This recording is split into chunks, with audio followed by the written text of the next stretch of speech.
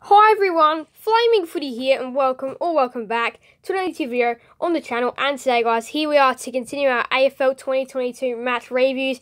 Of course, same thing as yesterday, Brisbane versus Richmond, we did that match review and here we are for another one, Melbourne versus Sydney. As you guys know, going to be doing individual match reviews for the whole final series which is very exciting, an in-depth review of each game. Now, of course, I did say in that Brisbane versus Richmond match reviews that I am sick, uh, not feeling the best right now, but I am starting to feel better, which is really nice.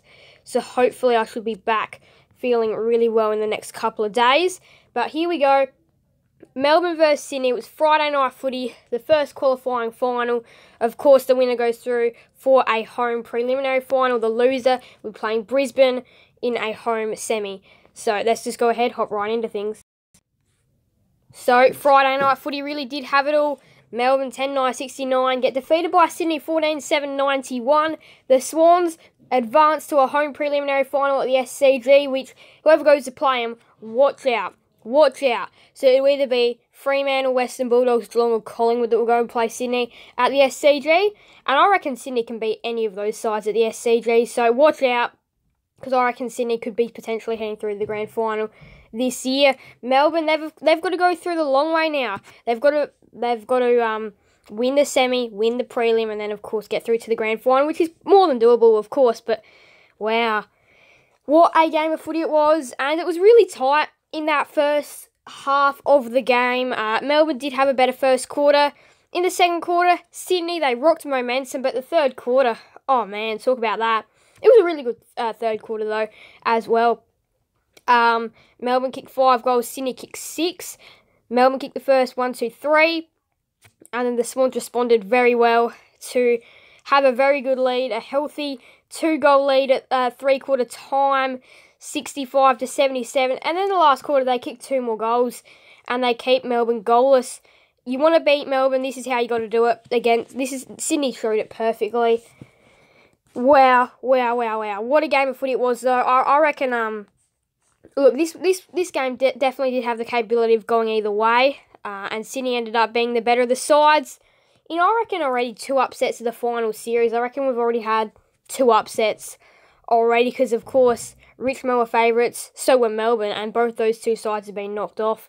Um, Richmond eliminated Melbourne. They're using their double chance. They would have loved to have been through to a home prelim, but Sydney will be getting that advantage, and oh boy, it's a big advantage. And for Sydney having it at the, SCG, at the SCG is going to be even bigger. Although Melbourne, I still feel like they'll definitely at least get through to a prelim because they'll be playing Brisbane at the MCG. You know Brisbane's record at the MCG, is not that great. But anyway, now to some of the match stat leaders. Clayton Oliver, 29 disposals. He's dangerous. 126 fantasy for Oliver as well. Three goals for Bayley Fritsch, 11 tackles for Callum Mills and Luke Parker for the Sydney Swans. They bought the intensity, which is also a way that you've got to do it against Melbourne. Alright, now to some match stat leaders where Clayton Oliver 126 AFL fantasies we know, 102 for Mills, 121 for Lloyd, 120 for Parker, 110 for Rowbottom. I reckon Rowbottom, he did really uh, come alive in this game as well. Uh, one of the best performances I reckon he's had this year, 108 for Gawn, of course we know uh, that he did test Hickey, but Hickey with the 80, 84 still did a really good job. Uh, goals behind, three goals for Fritsch, two for Reid. I reckon he's like a forgotten swan that he's now really starting to come back. Hayward, of course, two goals. Oliver, he's so dangerous. And Papley was really doing a lot of work as well with two goals. Jack Lloyd, two goals for him. It's not, it's not, uh, it's very unnormal to see this guy get two goals but he played really well. Heeney one goal too, so dangerous as well. Uh, 29 disposals for Oliver, 25 for Parker and Lloyd. Lloyd, he had a really good game. That, that's all to say, really.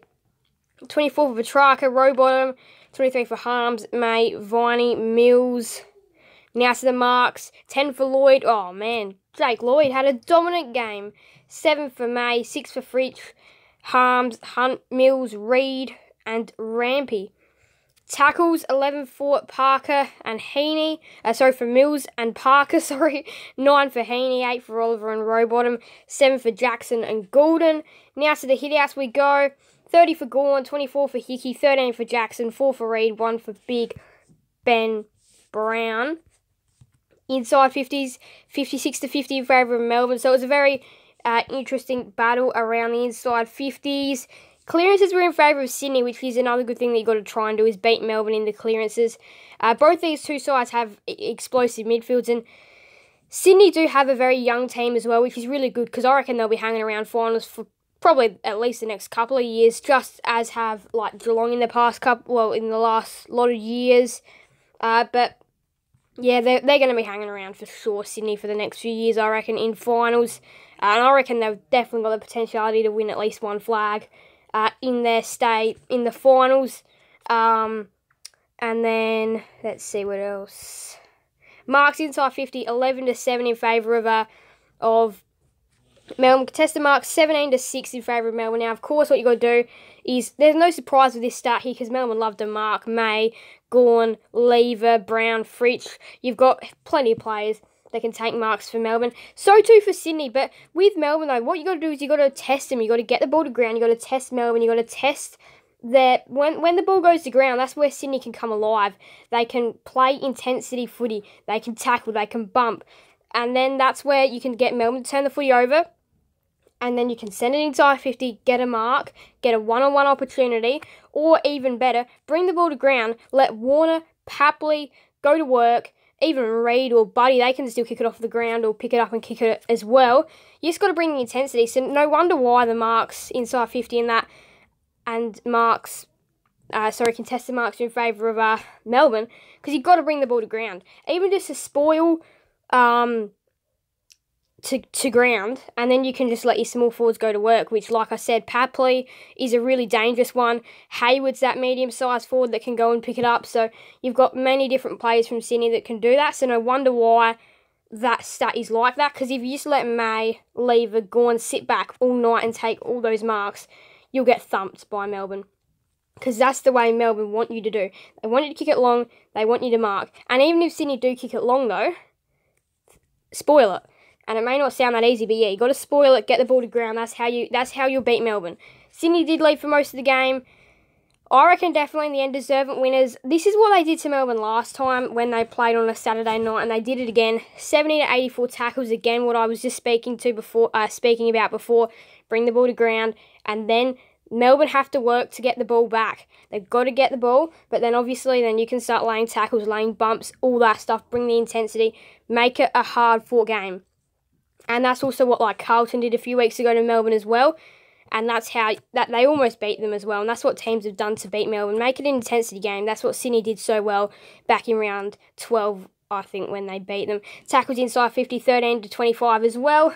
Uh, really nice stat there for the Swans. Laying more tackles. That's what they wanted to do. Their plan was to be intense, bring the intensity footy, high pressure, uh, heated footy. That's exactly what they did. And that's why they got the result that they wanted uh, because they they lay they, they got the ball to ground. They did exactly what you need to do to beat Melbourne, and they showed it really well. And that's why they were definitely deserving of a 22 point win with Sydney. Fantastic stuff. Through to a home prelim at the SCG. Could this be their year? Melbourne, they're going to have to go the long way this year. So, of course, a recap of what we've already seen. Uh, Brisbane 106 beat Richmond 104 on Thursday night. Feel free to go ahead and watch that full round um, round review after this one has finished. Uh, Melbourne lost to Sydney by 22 points.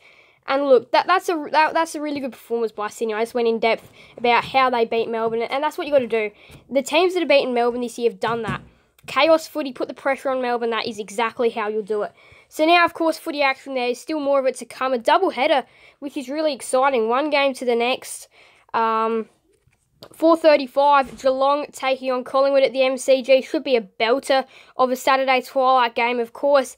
The other preliminary final is up for grabs at the MCG. So whoever wins this will get a home preliminary final at the MCG. Uh, and then, of course, Fremantle versus the Western Bulldogs. Whoever loses this game is out. Whoever wins will go and join the loser of Geelong and Collingwood. We've already found out that Brisbane, that Melbourne will be playing Brisbane next week at the MCG. Um, and then it's yet to be decided with these two games, two more massive games. Um, apparently it's meant to be wet in Perth, so Bulldogs upset, perhaps, and then of course a sold out MCG for Geelong Collingwood. That's going to be a brilliant game. The two teams that have had brilliant streaks over season 2022. But the Swans got the job done by 22 on Friday night footy between the D's and the Swans. Cracking game, cracking review that we just did, and two more cracking games coming up today. Thank you guys all so much for watching. Make sure to leave a like and subscribe and hit that notification and hit that notification bell. Then guys never miss another another video on the channel. Thank you guys all so much for watching. So bye everyone, Flaming Footy out.